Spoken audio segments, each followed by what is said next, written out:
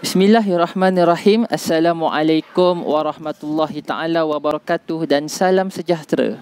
Jadi insya-Allah bertemu lagi kita pada hari ini dalam subjek pendidikan jasmani tahun 2. Jadi di bawah tajuk Mari sejukkan badan. Muka surat 55.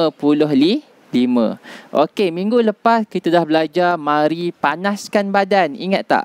Ha, minggu ni kita nak belajar tentang mari sejukkan badan badan. Macam mana nak sejukkan badan ustaz? Ha, letak badan dalam pita ais ke? Ha, masuk dekat tempat salji ke? Tak.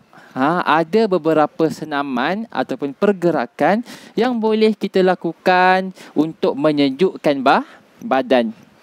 Okay, yang pertama kita kena ingat ha, kadar nah, nadi di mana masa kita sejukkan badan kadar nadi kita akan makin menu menurun.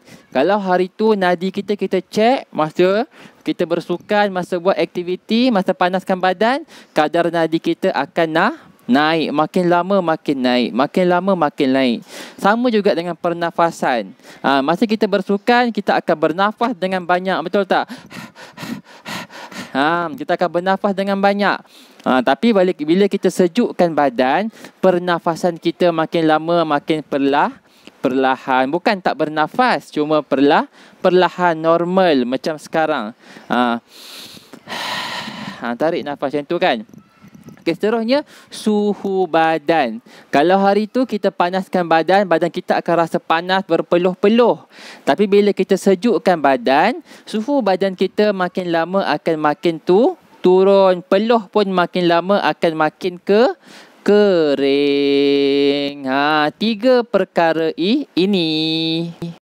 Okey, penting ke ustaz nak sejukkan badan ni? Penting sebab apa? Ha, kalau kita tak sejukkan badan, badan kita boleh terke, terkejut ataupun sakit.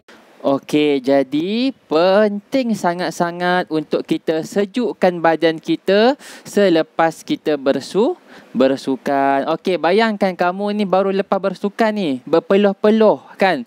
Badan panas, ha. Main badminton, sepak bola, macam-macam lagi kamu buat kan. Badan kamu berpeluh-peluh.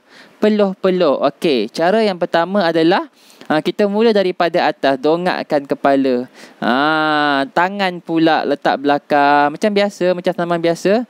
Regangkan badan. Ha, tak perlu aktiviti-aktiviti yang lah, yang ku, yang kuat dan banyak.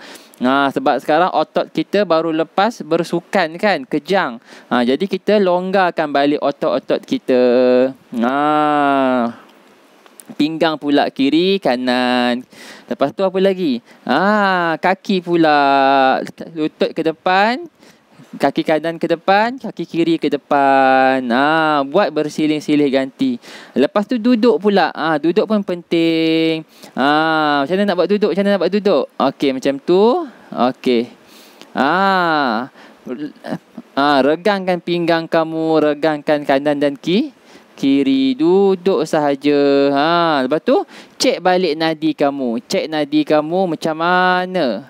Ha cek nadi di tangan di leher lepas tu di ha kamu akan rasa badan kamu akan makin lama makin se sejuk. Pernafasan pun makin lama makin perlahan. Dan kadar nadi kamu pun akan semakin perlah perlahan. Kita hanya akan buat regangan-regangan biar biasa untuk sejukkan badan. Tak perlu lompat-lompat macam masa panaskan badan.